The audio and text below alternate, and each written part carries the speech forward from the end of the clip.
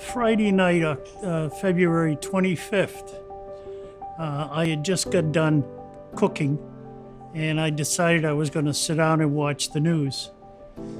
I sat down and all of a sudden, everything in my right eye went, went in all different colors and I couldn't see. The primary concern with sudden painless vision loss is central retinal artery occlusion, which is what the patient ended up having. A central retinal artery occlusion is indeed a stroke to the eye, and we consider the retina a part of the brain. My doctor insisted that I come to AdventHealth Tampa for all of their technology, all of the doctors that were uh, specialists in the eye field, and what they could do for me. I was very fortunate that Dr. Pepe was the ED physician as he is specially trained in ultrasound. So the, these doctors have a little device, a retinal ultrasound. They put the probe on the eye. I can and they can look into the eye, and they can easily look for blood, as it can be seen easily, and make sure there is no presence of blood. And so he was able to exclude, with a very high probability, that there's no retinal hemorrhage. At that point, they found that the my carotid artery was blocked with all of the testing they had done. It was 70% blocked. So in Alfred's case, the treatment was actually a two-step treatment.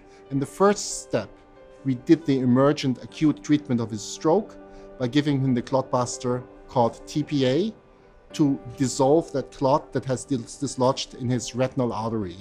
And uh, we were successful doing that. In the second step, we had to find where did that clot come from and is there something we can do to prevent clots like this forming again. And with vessel imaging, we found that he had a stenosis and uh, atherosclerosis in his carotid artery. And we consulted our colleagues from vascular surgery, and Dr. Armstrong saw him, and he did what is called a CEA, or carotid artery surgery, to remove the atherosclerosis and make that stenosis go away and open up the blood vessel so that he does not have a stroke like this in the future. I was never so happy in my life. I felt like I was in a Taj Mahal. They were treating me like a patron and not a patient.